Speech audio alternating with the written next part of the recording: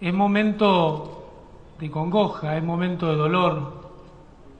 Lo escuchamos en todas las palabras que antecedieron.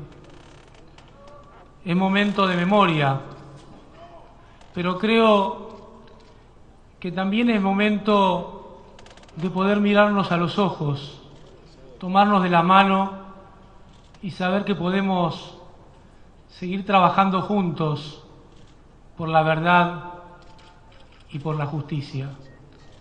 Saber que podemos reconocernos iguales en nuestras diferencias. Saber que compartimos que la violencia no debe ni puede ser forma de resolver ninguna diferencia, ningún conflicto, en ningún sentido. Creo que ese es el momento que nos podemos proponer hoy. Porque nuestra presidenta lleva a cada uno de los foros internacionales la lucha, la palabra, la acción contra el terrorismo internacional y su financiamiento. Sabemos que podemos compartir todos, los que pensamos igual y los que pensamos distinto, estos conceptos. Sabemos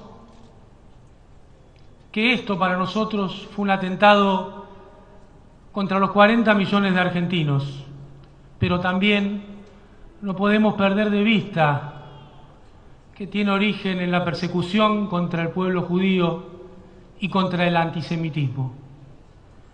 Por eso, este es un momento para reconocernos, como decía, iguales en nuestras diferencias y saber que podemos confiar entre nosotros en trabajar juntos contra esa maldad imposible de imaginar que es el terrorismo y el terrorismo internacional.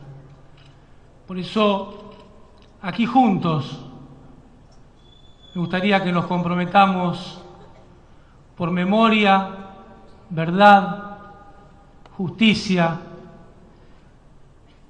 y por todos, por los que están, por los que no están, le agreguemos paz y amor. Muchas gracias.